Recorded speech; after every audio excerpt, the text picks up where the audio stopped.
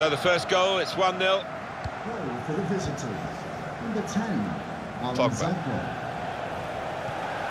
Mata. That's good movement forward here.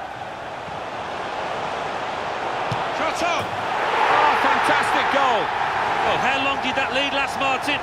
Not long at all, and the manager down there is absolutely furious. Fantastic from the neutral point of view that the game is level again.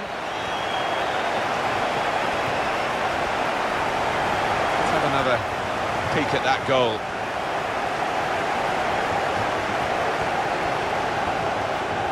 Every manager wants to see his team have bounce-back ability, as we say, and he's just seen that from his players.